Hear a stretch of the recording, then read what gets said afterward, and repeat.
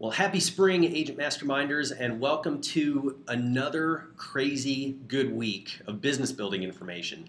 You know, I talk to a lot of realtors, and a very common question I get is how do you get business from Facebook? Not just have a presence, but actually get business.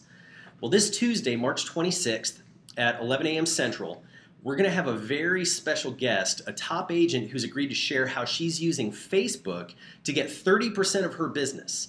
Now, she's closing over 30 million a year, so she's the real deal. So what if you could swipe what she's doing? Do you think you might have similar results? Possibly.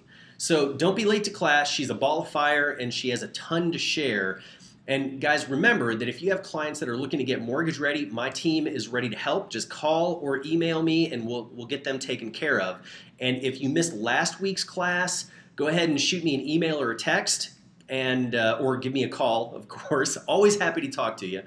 And we will uh, I'll get the link sent right over. So until then, we will see you on Tuesday. Have a great weekend.